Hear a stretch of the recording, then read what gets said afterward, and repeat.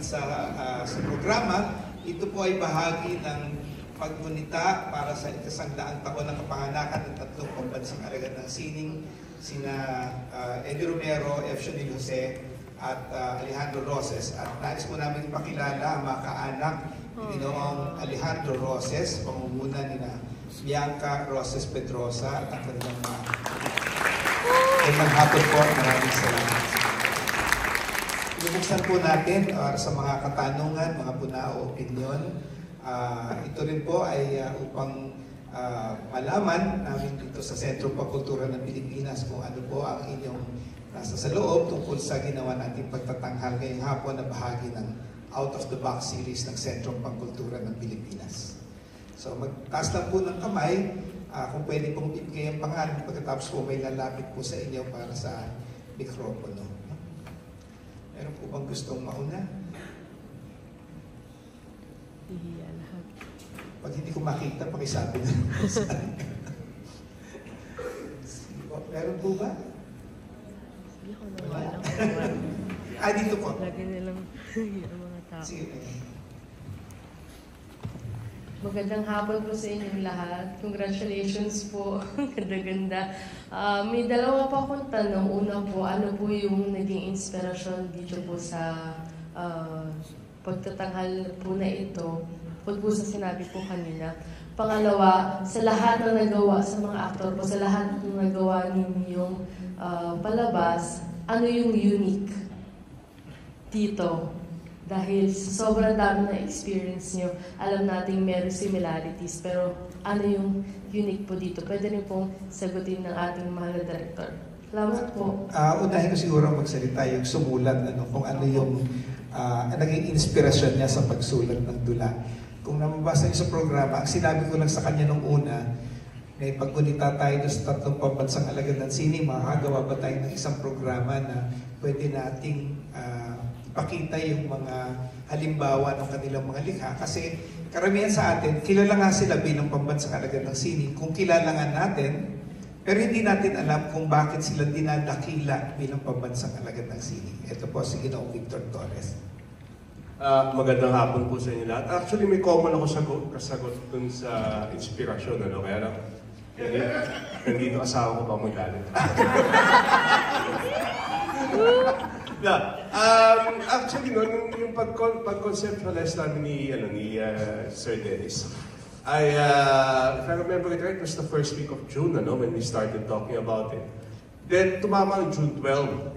And as usual, meron, ano, ano pa rin tayo, we show our, our appreciation for our country, gano'n. But I wanted, ano, I wanted, as I, I've always wanted to, for our appreciation of our country, to go beyond June 12. No, at uh, kasi nga, our holidays are just fixed on the dates, ano? but as we continue to realize yung ating uh, pagmamahal sa bayan, you, know, you all know what's happening right now, no? And um, naging mahalaga sa akin to, no? dahil um, yung paghalap lang, ano, paghalap ng common denominator dito sa tatlong national artists, no? kung saan uh, naging simbolo rin sa kanila ang pagiging pagkakaroon ng nationalismo, no? Uh, ang ginamit kong framework ay yung ganito kami noon, paano ko ngayon, ni, Eddie Romero, na napakasimple ng ideya ni, ano, ni Pulas no? doon sa pagiging kakaroon ng pagka-Pilipino. Pero dito sa dula, nilaliman ko na ng konti no? kasi he was already maturing. Uh, Manong Frankie, uh, who has been a friend of mine for so long, no? um, I got inspired, of course, by um, Poon. No? And of course, kay Anding Roses, No? Um, actually, I, I found Anding Roses' work so amusing. No? But I distinctly remember uh, yung high school namin, we always read, we Filipinos are mild drinkers. No? And although it looks funny, as you saw in the scene, because a lot of the dialogue from the scene, I realized that, of course, it was also a hit against the Americans. Doon lumabas yung pagka na, na, na, nationalism niya ni Anding Roses. No? At uh, yun ang naging inspiration sa akin at yung naging buod na ideya nitong tula. Ah, ang pangalawang bahagi ng tanong niya, meron daw po bang maaari magbahagi sa mga artista? Ano daw ang naiba dito sa naging karanasan niyo dito sa dulang ito? Sino ang sasagot? Marco. RJ, ikaw na, bilang kulas. naiiba, ibang iba to.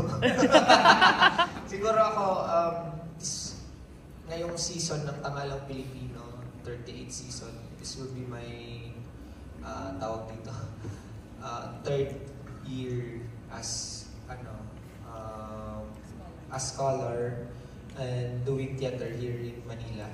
Um, for FYI po pala, I'm from Tacloban. So, yeah, ako, iba-ibang experience niya sa akin. Una sa lahat, dahil it's a lead role na hindi ko pa siya nagawa entire, in my entire life. Especially dito sa sa center. Um, siguro, um, iba siya kasi dapat talagang Especially na, sir, i-disclose ko po, kailan po um, na, we, we did it. Yung nine rehearsals ba tayo, no? um, di ba? After, we're doing this, nag-overlap siya sa schedule ng, ng Virgin Love Fest. Tapos ito, kaya mga busy yung mga tao rin. Si Kuya Marco, isa sa mga festival directors ng Virgin Love Fest. Um, so, nag-busy din siya doon. And then, mga isang sa reading lang ata kami na ano. So isa sa mga uh, sa reading and then dun sa sa, sa rehearsal na dito sa CCP mag after na ng VLF. Um, isang ano ko dito is uh, oh my god, this is napakaraming napakaraming i-memorize given given na limited time. But at the same time nung napanood ko si yung ano nga yung yung yung film, ay my god, may this this is something that I have to represent as much as I could. Kasi yung na-realize ko si Kulas is siya lang yung yung naiiba dun sa lugar. Kasi galing siya nga sa bu- bundok, sa bukid, tapos nagpunta siya ng Maynila, tapos dun nagkagulo-gulo ang buhay niya. Tapos, but yun nga, yung, yung paghahanap niya sa sa identity, hindi hindi siya intentional. Sabi pa nga namin sa sa table work namin, it was nag- nag-stumble talaga si Kulas para mahanap niya yung yung anong yun. So, yun, um, iba siya kasi napakalaki ng gampanin for me to to do that role. And at the same time mapalalim mo in such a limited time yung yung ano. Pero palagi sinasabi ni sir na memorization it's importante you, you understand the play and I think I I sasabi ko in a certain level na I was nag-mature ako dito sa process na to. Even though napakaliit ng time. I just have to ay, we are doing we are doing art. Dami natin ginagawa of course kasi we are a third world country charot. But yes I'm serious. Seryoso po ako. Sinasabi ko ito na mas mas malaki yung gampanin natin. Kailangan natin gumawa na gumawa na gumawa na gumawa. Siguro yun yung buhay ng pagiging artista. We live and we will die doing art and that's Maraming salamat. Salamat RJ. Iba pa pong tanong? Uh, pakitaas lang po yung kamay. Dito daw, meron pa. Ayan. Dito, ayan. Makilala lang po. Hello po, magandang hapon. My name is Dave po. Uh, question ka lang po, sir. is, Uh, three borrowed stories uh, to come up with a unified one. Uh, did you encounter challenges in coming up with a unified one? And if there are, what are those challenges and how did you overcome them? Ah, sa simula pa lang kasi, dahil familiar na kami pareho ni Vic sa trabaho ng tatlo, alam namin na merong tema na, na pare-pareho nilang ginagawa sa sa mga obra nila, yung pagiging Pilipino. No? Nung una nga, ang isang binato kong titulo kay, kay Pilipino noon at ngayon. Sabi ko, pwede nating pakita lang kung ano yung, yung sinabi ni Eddie Romero tungkol sa pagiging Pilipino, sinabi ni ni Manong Frankie tungkol sa pagiging Pilipino, kung ano sinabi ni Andy Rosa sa pagiging Pilipino.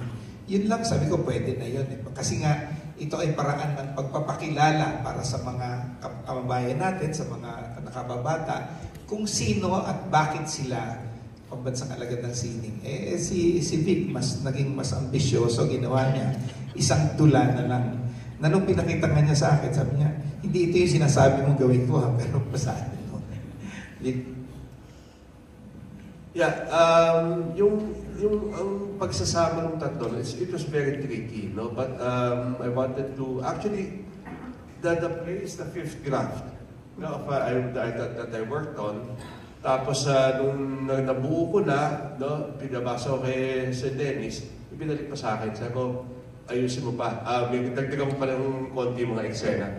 But I think uh, when I finished the final draft, I, already got it. No, that na pagsama ko yung tatlong storya na na sana na well, sana nung una walang butas. But as you saw the final product no, when, when it was on stage, ah para sa akin nabuo siya talaga. No? At yung ah, buong ideya na pagsasama nung tema ng mga tatlong gawa no, ay uh, nakita, nakita na rin doon. No? At ito yung tema nga ng pagiging nationalismo ng tatlong pambansang alagad ng sining. Dagdag ko lang, no? Um, malimit kapag work in progress, maraming pagbabago habang nasa rehearsal process yung script. Itong dula na ito, nung matapos kong makuha yung final fifth draft, ah, sabi ko kay Vic, okay na to, pwede na to. Tapos yun na yung binasa namin at yun na yung rehearse namin. Simula nung basahin namin sa table reading hanggang ngayon, siguro mga limang linya lang yung nadagdag yun lang ang nadagdag na. Kasi sa tingin ko talaga, yung nung binigay sa amin ni ng ating mandudula yung script, yun na yun eh.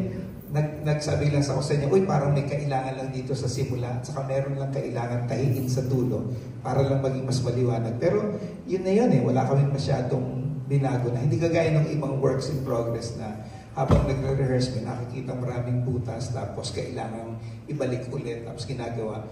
So, nung pagkatapos ng table reading, bumalik na lang si Vic itong week linggong ito, tapos tinignan na lang niya, tapos tinanong okay sa'yo? Okay, o di na yun. Okay, salamat Dave. Iba pa pong tanong, maybe we can have last two comments, pwede pong komento, pwedeng puna, pwedeng opinion. Ah, dito na, ayun dito, ay si si Igan. Magandang gabi po sa lahat. Ah, congratulations sa us at sa audience. First time kong lumabas. Alam niyo naman yung nangyari sa akin. June 11 yun. Kayo naman nag-meeting June 12. Ah, gusto ko lang itanong sa mga bahagi ng teatro. Ganito na kami noon, paano na ngayon? Nasagot ba? yung tanong ni Vic, uh, lalabas pa tayo na may identity na tayo bilang Pilipino o patuloy pa rin tayong ligaw. Um, yung ang gusto mong iparating, Vic, magkaklase po kami sa UST. Um, at bilang suporta na rin sa kanya, marami na ho siyang mga naisulat. At, uh, so, an- ano yung gusto mong ibaon namin matapos na mapanood itong opera mo? Si- siguro ba, hindi naman sa wala, wala agad na definite no, na may natutunan yung mga tao. But uh, siguro ang hiling ko lang is kalimutan yung dula no, at uh, yung mensahe nito.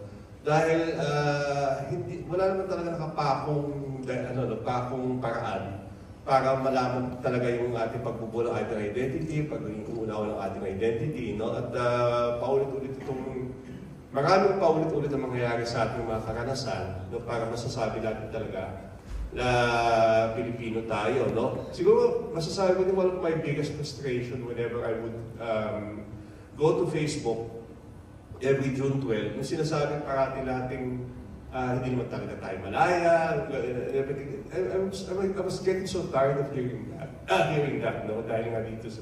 Kaya dumating itong idea ng, ng ah, dula sa akin. Because um, as long as we keep thinking that, wala talaga mangyayari sa atin. No? At ah, malamang siguro ah, magkakaroon uli ng isang malaking bagay o malaking pangyayari siguro na hindi naman violente, na hindi naman ano, pero it was something big enough na siguro it will, we might stand our, our own and uh, realize that we have our own dignity as uh, Filipinos. No? I- siguro sana masarap isipin ito yung simula. Eh, no? But uh, for me, um, the idea is there. No? We, uh, we were, hopefully you were entertained by it.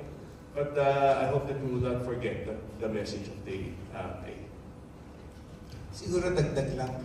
Ah, sinasabi na walang revolusyon nagsimula dahil sa pagtatanghal ng isang dula. Kaya huwag na natin asahan na magkakaroon ng revolusyon o malaking pagbabago dahil dito. Pero may dalawang bagay na laging sinasabi tungkol sa sining. Ang isa ay na sinasabi na ang sining ay salamin ng katotohanan. Kapag uh, nanood tayo ng isang ah, kagaya ng dula, nakikita natin yung katotohanan sa harap natin. Pinakikita yung katotohanan baka pwede natin isipin yun. Eh, yung nakikita natin dito ay katotohanan na hindi natin napapansin o katotohanan na ayaw natin pansinin. Pero pangalawa, sabi ni Leo Tolstoy, ang sining ay isang paraan ng komunikasyon tungo sa higit pang pagkakaunawaan. Na dahil tayo ay nagiging bahagi ng isang pagtitipon na kagaya nito na, na, na, na tungkol sa sining o dahil sa sining, ito ay paraan ng komunikasyon na ang talagang layunin ay higit nating maunawaan ang ating mga sarili at ating kapwa. Baka yun siguro ang pwede nating dalhin no? pag alis natin dito sa pangalan. Salamat po. Isang, isang huling tanong siguro o isang huling puna. Meron na dito, meron na doon. Dito ba? Meron dito magtatanong o kaya dito sa kabila. Ah, dito. Ah, sige, dalawa lang. Isa dito at saka isa dito. Sino dito?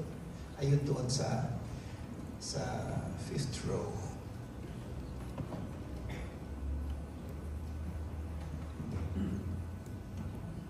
Magandang hapon po sa lahat. Ah, hindi po ito isang tanong but rather a comment about the whole production po. So, ah, I, nung high school po ako, four years I spent ah, in the theater ah, as a production crew and sometimes po on stage. So, gusto ko lang po sabihin that I applaud the whole production po. In terms, lalo na po dun sa, I'm, I don't think kung tama po ba ako or rather, ito po yung pagkakaintindi ko. Yung transition po ng, kumbaga, flashbacks and the ah, present setting ni Kulas through the tela po dun sa head. So I think it was a unique trait po sa play na to and uh, I was hoping to see more uh, plays in the future. Yun lang po. Maraming salamat. Tapos dito, ito doon sa uh, fourth row. Hello po, magandang hapon po. I'm Teacher Wina po. Kasi po kami nagtanong ni Sir, nakafocus din po ako sa title kanina because gusto po nang kahit pa paano masagot siya. Um, ganito na kami noon, paano na ngayon. Um, I remember a part of the play po na parang na-realize ko na may pagkapare-pareho pa rin yung noon at ngayon. So gusto ko lang pong itanong po um, yung manonood po ng ah, dula na um, Ah, at some point again, may pagkapare-pareho, lalo na po na sinabi ni Colas na bakit tuwing magkakaisa po tayo, nag-uumpisa na naman tayo maghiwalay bilang Pilipino laban sa kapwa Pilipino. Ang tanong ko po sa inyo po bilang manunulat, masakit pa rin po ba na mula noon hanggang ngayon, habang sinusulat niyo po yung tula, may pagkakahiwa-hiwalay pa rin po tayo Pilipino. Or ano po yung nafe-feel niyo po habang sinusulat niyo idea? Sabi ko sa'yo, Nikki, Johnny Walker na lang yung sasagot kong inspirasyon. um, I, I, I think na may, may, kahit may nagtatanong din sa akin ng ganyan, kung ano ba tayo ngayon sa, sa lahat ng dahilan. No? Uh, there was one time na uh, when I was interviewed no, sa, uh, in one of our, the radio shows, no, tinatanong sa akin, malaya ba talaga tayo? No? Ah, uh, parang ko sinasagot talaga, malaya nga tayo. Totoo, we were, we were free on June 12, we declared, no? Ang naging problema kasi natin, uh, because nag-transition kagad tayo sa American colonial period, hindi natin naramdaman yung ginhawa ng kalayaan. And if you knew what kalayaan really was, uh, you would take care of it. No? You would take care of it, you would protect it and everything. Ang concept kasi natin parating ng kalayaan is that ano eh, yung something that we are free period, that we are free to do anything, everything, and everything. And of course, look at the mga kalaban nating dayuhan at sunod-sunod na sunod. Ano? Pero yung diwa, yung pagsasarili natin ng diwa ng kalayaan, hindi pa natin talaga natatamo. No? At dahil doon, ay nagkakaroon pa rin tayo ng kanya-kanya interpretasyon kung ano yung kalayaan natin, kung ano yung diwa na yun. At habang nagkakaroon tayo ng pagkakaiba ng interpretasyon at kalayaan at diwa na yun, parang hindi tayo magkakaisa. No? At, at kung yun ang ano, uh, sa, sa tanong mo, hindi pa talaga nangyayari. No? Um, socially, we, we are not equal. That is true. No? And uh, educationally, we are not equal. That is also true. Okay? We all know that being one is free. Period. No? But working for that freedom, doon tayo ngayon magkakaano. Doon tayo ngayon nagkakaroon kanya ng ideya. Iba ang ideya ni Kulas bilang mahirap. Iba ang ideya ni Tibor na mayaman. No? At iba rin of course ang ano, ang uh, yung mga namamagitan sa dalawa tulad ni Bintoy who wants to do good but at, at the same time hindi siya uh, hindi niya alam kung saan papagitan. No? You, know, you notice that sinasabi lang nila kay Bintoy was dating senador. No? Um, just to be frank about it, I based I based uh, the character of Senator uh, Senator Corcuera on the um, Galesagisan. No? Because Rene, uh, Karene, was so for the poor and so for the marginalized. Okay, but he cannot remove the fact that he is a senator. No? And I think somehow those kinds of things um, should be balanced in a certain way. No? So, yeah, bilang pag ano, uh, magka, magiging paano na ngayon, ang problema na sa paano na ngayon, hindi lang babago. Na hopefully, as time goes by, would, uh, something new would occur. Salamat po. Kung wala nang iba pang... Ah, ito last. Sige, last dito. Good afternoon po. Si Attorney Bien Mendez po ako. Uh, pagiging abogado po kasi medyo nakarelate ako dun sa character ng lawyer na, na girl. So parang ang, ang conflict ko siguro sa nangyari kasi ay 80 years old na kasi si Kulas nung nangyari yung trial. No? So parang I was thinking, kung yung kung bata pa kaya siya nung nangyari yung trial, hindi ganun na magiging judgment, right? Kasi ang judgment was that he was guilty of sedition. But that he was not sentenced to be in prison because of his age and his sickness. So, uh, Sir Vic, uh, kaibigan ko po si Sir Vic, um, ano po kaya ang lumaro po ba sa isipan niyo na kung sakaling nagkaroon ng trial nung siya ay bata-bata pa at hindi siya exempted sa prison sentence, ano po kaya ang nangyari sa kanya? Siyempre, ayaw natin lahat na yung bita ay makulong or, ay, diba? So, ano po, Sir Vic? Thank you. Yeah, actually, that, was one, that's a curious uh, historical fact that we have, you know, in our history. Because uh, after World War II, we were, we are familiar, of course, that uh, Manuel Rojas issued this amnesty proclamation. Now, this was around 1948, 1949. What we do not know that in 1946, no, right after the uh, right after the, the war, Rojas, Rojas issued another amnesty. No, the amnesty was for the guerrillas who were committing uh, excessive, ano, excessive, uh, they, they call it excessive crimes, no? But ang ginagawa justification is dahil gera. No? Kaya itong si, alam, ang malamang lalabas pa atin talaga dyan is ma-acquit pa rin talaga si ano. No? Kahit sinasabing, kaya, kaya may linya na sinasabi ni ni uh, wala sa wala siyang pinatay kung hindi kalaban, mga Hapon. No, that was one of the ano, that was that was one of the uh, things that eventually um, exonerated a lot of our guerrilla, ano, guerrilla forefathers. No? Uh, so I always I told the group, you know, I, I had an uncle who was ano, who was uh, actually that uh, Verdugo is based on my uncle. No, that he was really affected by the war. And uh, whenever he sees a Japanese soldier, pinapatay niya. Kahit sumuko na. Lupugutan niya ng ulo. No? And he totally changed after the war. Okay? But eventually, I knew that uh, he was there was a, a excessiveness. But uh, from what I learned, he, it fell under the, it fell under this amnesty proclamation by Rojas na exonerating a lot of the guerrillas for excessive, ano, excessive violence during the war. Okay? Yeah. Yeah. To answer to your question, attorney, baka ano pa rin siya. The, uh, I would have believed that he would have been ano, eh, exonerated pa rin. Thank you. Marami pong salamat. May isa pa po pagtatangal bukas. Uh, maaari pong paalam naman sa ating mga kilala, mga kaibigan na meron po po sa pagtatangal ng ito bukas sa katatlo ng hapon. Muli po, maraming salamat po sa inyong panonood.